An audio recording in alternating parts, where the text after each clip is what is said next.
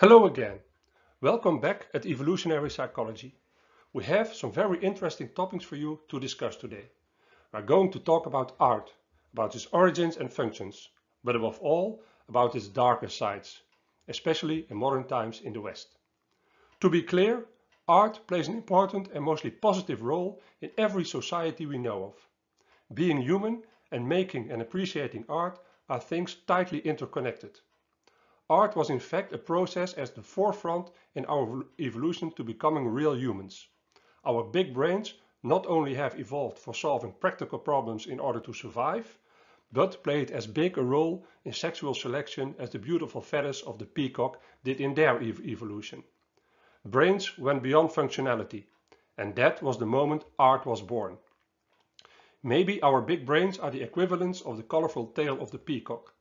Starting as a functional tool, but being picked, not quite accidentally, as the focus of sexual selection were running out of hand and became a force of its own, with all the positive and negative consequences that go with this.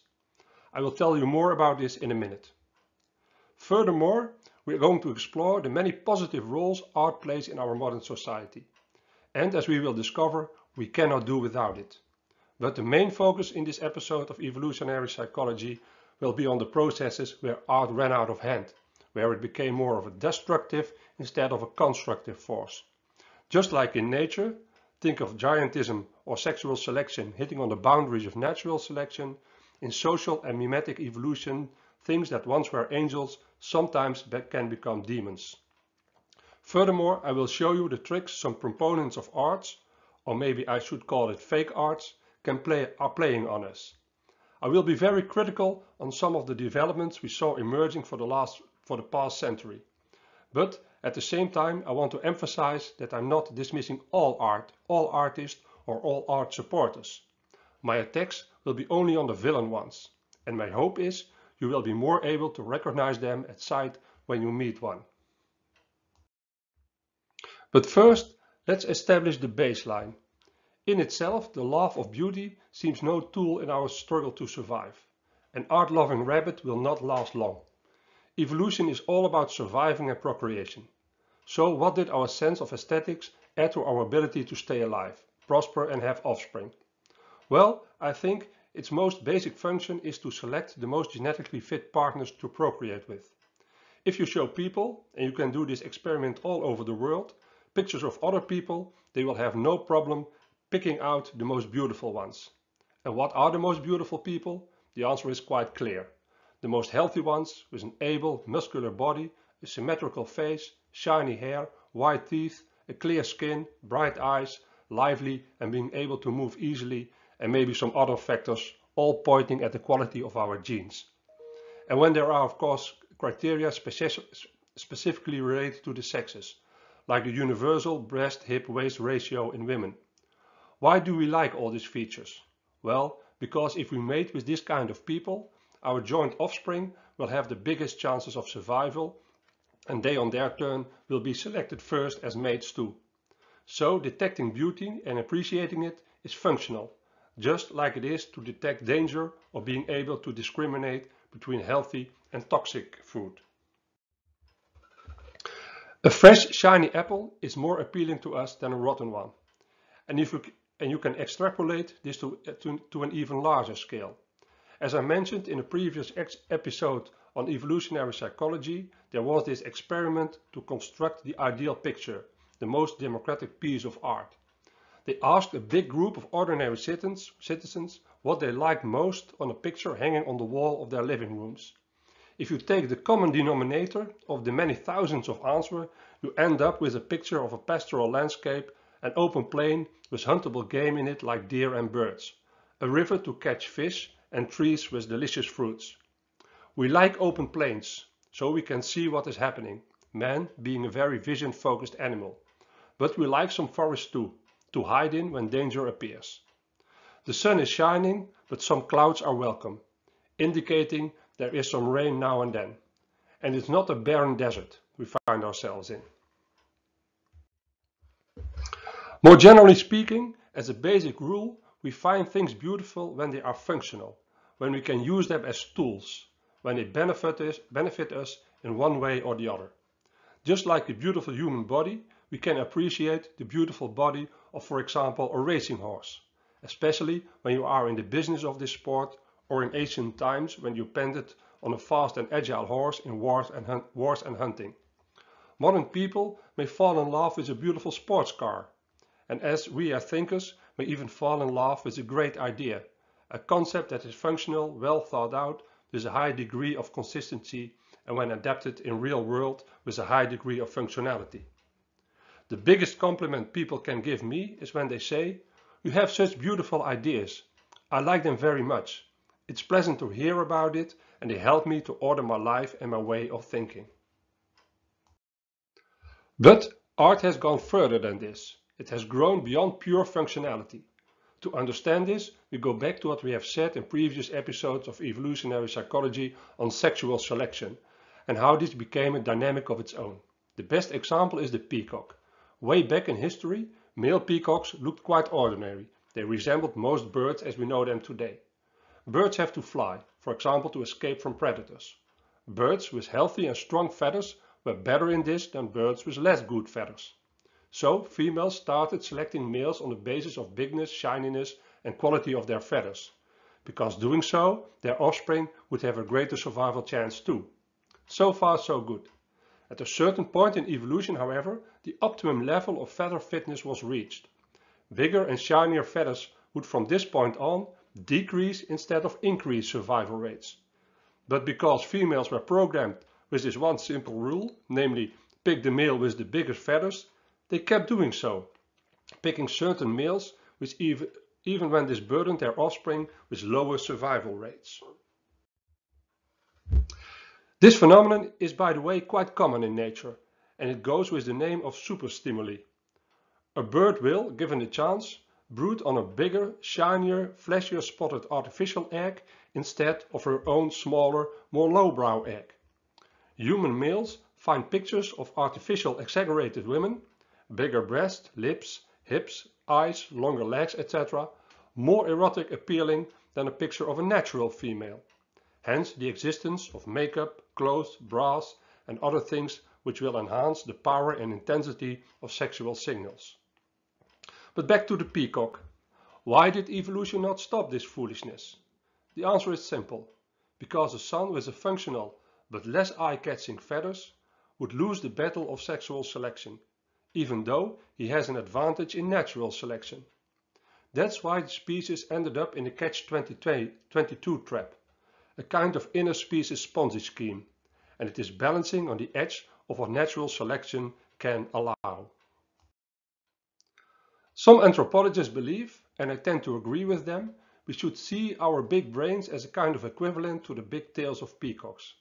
It all started at a functional level, but once it became the focus point of sexual selection, it created a dynamic of its own.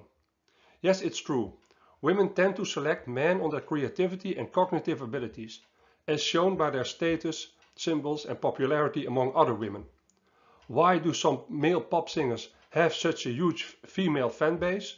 The answer is because they have such a huge female fan base. On this aspect, women are real copycats. See on what criteria man reach the top of the hierarchy and then pick the male who is scoring highest on that criterion. This is why hierarchies of popularity vary so much across cultures and times. Even when an individual peacock hen is finding the whole, whole big tail idea a bit silly, she nonetheless better picks the male with the biggest tail, just like all other males do, because this will give her sons big tails and big chances being chosen by the next generations of hens. In human society, we a bit overstated can say, males make art, females consume it. We already mentioned stone axes, so beautiful yet never used. L'art pour l'art. And another important argument for the brains as peacock tail idea is that the growth of the human brain during evolution has almost nothing to do with the growth of technology. These are seemingly unrelated variables. Some prehistoric technologies hardly change over the course of many hundreds of thousands of years. This meaning the big brains were not there to create technology maybe not even to enhance our survival rate in natural selection, but purely as an important tool in this drama called sexual selection. But this of course is not the whole story. On the one hand, art has to do with craft. We appreciate a painter who can make a perfect portrait, or a vi violist who can play a piece of Mozart to its most, utmost perfection. The same is our appreciation of a ballet dancer or athlete who masters his craft to the highest degree of perfection. But at the other hand, we also tend to associate art with innovation, with renewal, with making us see things differently than before. And of course, Art is tightly linked to emotions, feelings, experiencing and expressing emotions, sharing intense moments in our lives with others. Art helps to make a group of people transform into a real community. But first have a look at innovation, exploring, renewal and the building of our future. The best model to describe this comes from the thinking of Jordan Peterson.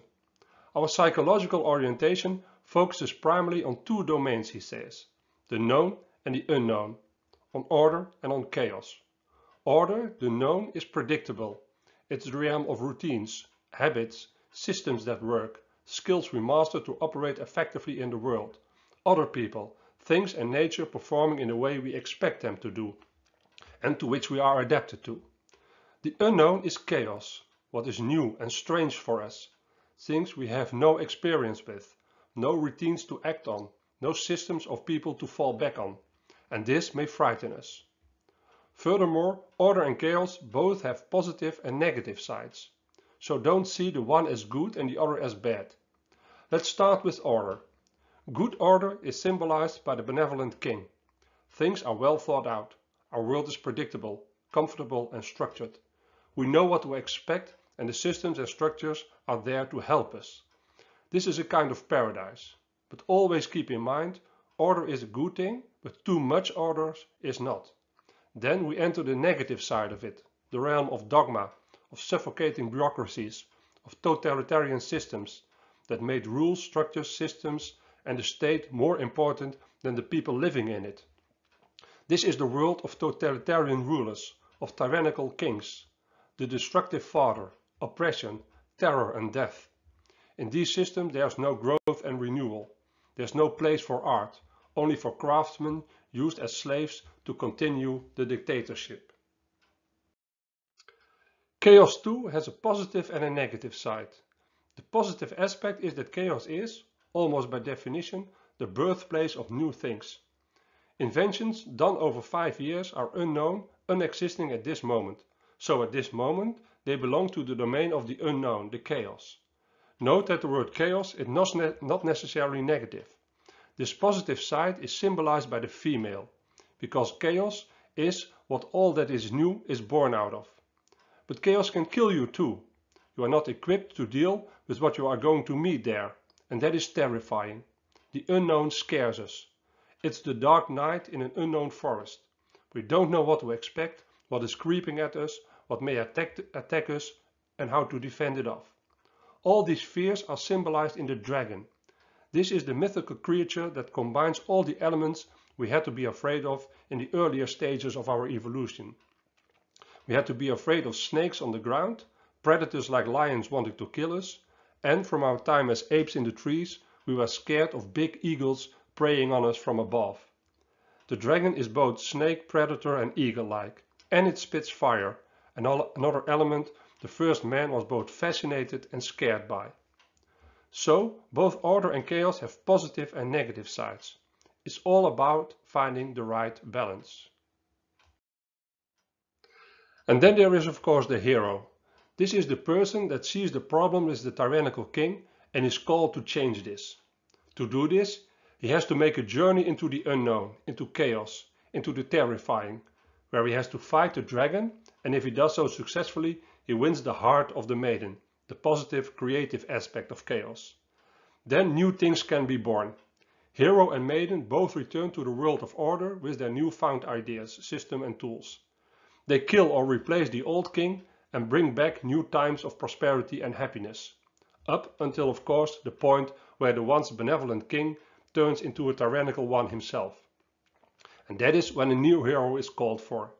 This storyline is an almost universal archetype.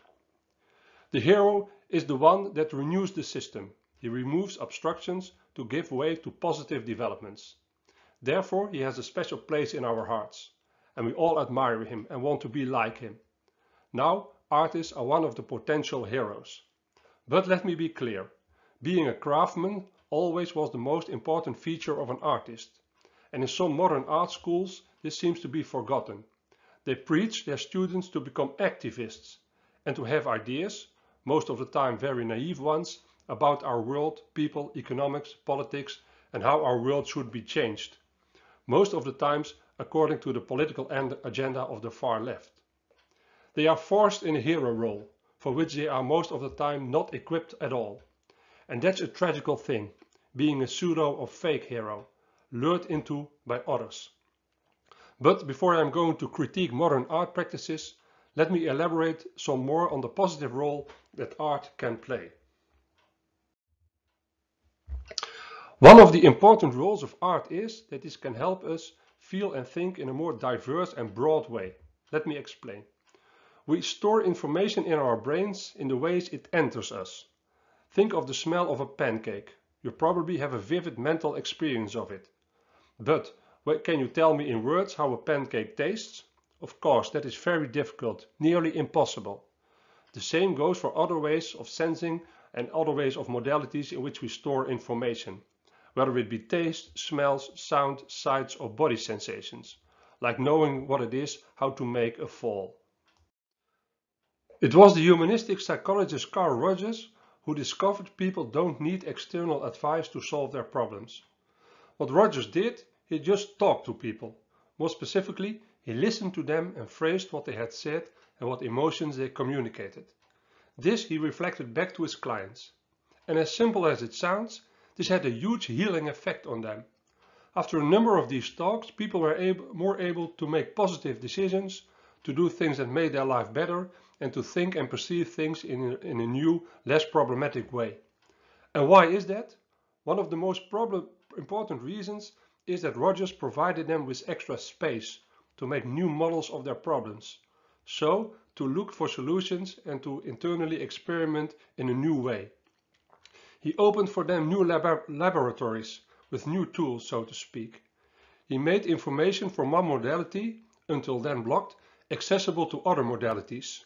So for example, a traumatic experience, stored only as a bodily sensation, became something the client could talk about. It, he gave him words. Or they could visualize it in drawing or in a movement they made. This opened new perspectives, provided new solutions for mental and physical, and physical tools to deal with it in a new and more constructive way. Artists play a very important role in this process. If done proper, their works provide new modalities for people previously closed or inaccessible. Poets give your words to describe the indescribable. Composers voice your emotions. A painting or sculpture may exactly copy the most inner feelings about something, a problem. Dancers depict your bodily sensations in a way you never could find words for. Good art creates symbols we build communities with. Think of national anthems and what you feel when you hear them. It makes you feel to belong to something bigger, a community that transcends you. Are artists creators of the new or just journalists of the new, describing and explaining what others have done? I think the last one is true. Of course, in their own crafts they can be innovators, inventing new styles and techniques. But on the subject, subject of how our world is operating, what the causes and solutions for political, social, economical and philosophical issues are, they are no experts. And they cannot be. And we must not expect them to be that. An art school is meant to teach you crafts. If you want to think of social change that is necessary, go study sociology, economics, psychology or political science. Of course, the works of artists in itself can trigger social change. Think of Harriet Beecher Stowe's book Uncle Tom's Cabin and the abolition of slavery. But don't expect them to come up with new analysis or innovative solutions. Leave that to the experts. There's no correlation between being a good artist and understanding how the world operates, how our psyche functions, or what effects economical dynamics can cause. To learn about that, you better go and study in these specific fields. and to be good at it, it requires different talents from being a good artist. So now we are approaching the darker sides of art. Marcel Duchamp was a chess grandmaster later in life, but he excelled in his skills as a salesman of snake oil. He was the man who made people believe a urinal can be a piece of art too. He was not the first, but surely one of the more successful con men making the audience believe the emperor was wearing some excellent and most remarkable clothes. It looks like these kind of con artists have in modern times, after the death of God, taken over the role of priest and oracle tellers. They position themselves in the center of our society, proclaiming being the ones with knowledge of the deeper, more fundamental and most essential things going on in our world. They pretended to have special secret knowledge no one else has. And unfortunately, too many people believe them. I live in Holland. Every time a politician or public figure makes a critical comment about, comment about art, plays the, with the idea of cutting budgets, or like in the times of corona lockdowns, hesitates opening musea and theatres, papers are filled with vile reactions, personal attacks and debasing reactions. This always with some common, most predictable undertones in it. For example, you are a simple-minded roughneck with no cultural sophistication whatsoever. I'm way better than you are. You are ruining, ruining the very fabric of our society and you are too dumb to understand this. Art is a primal need of people, maybe even more important than food or water. Cutting down on art is cutting down on the meaning of life. Art is a responsibility of the government. The idea that free markets could regulate art is an insult to me and to people like me. Commercial art is by definition art of inferior quality. Art has a special position in our society. It cannot be critiqued. Every shred of doubt on the holiness of it, of it must be punished immediately and severely. Art giving space provides ideas and concepts that will solve the big problems of our times and will lead, will lead to a new society, a new paradise and some more of these kinds of ideas. These modern con artists and postmodern philosophers are very much alike. They belong to the same category. Postmodernists too have developed a language that is most obscure, unclear, pretentious, pseudo-scientific and above all vague. They tell it with such an air of expertise, pretending it is the result of such profound thinking, that it's clear why 99% of the ordinary people meaning you and me, of course cannot fully understand it. Try to study their gibberish books and articles, and you can only come to one of two conclusions. First is you may think, oh, I'm not intelligent enough to grab the essence of it. This is the most detrimental and self-inflicting choice. A better one is, I've tried to grab it, friends of mine have, have done so, I surfed on the internet to get the meaning of these texts and still it's highly unclear to me. There's not even the beginning of understanding. No one can explain in simple terms what they are saying or what they are, or what or present clear facts and valid arguments. And this goes not for some minor detail, but the biggest part of it, more precisely almost everything of it, is unreadable. In that case, and this is the healthy response I want to encourage you to, is to leave it and just say to yourself, you will not take these comments seriously anymore. Then you see the emperor is just naked. This last choice was also made by Alan Sokal, a professor in physics, who wrote a complete nonsense article, but in style, word choice, structure of the text, jargon, etc., mimicking exactly some very renowned postmodern writings, and had it published in one of the leading journals of postmodern philosophy. The editors were apparently not able to unmask the hoax that was going on.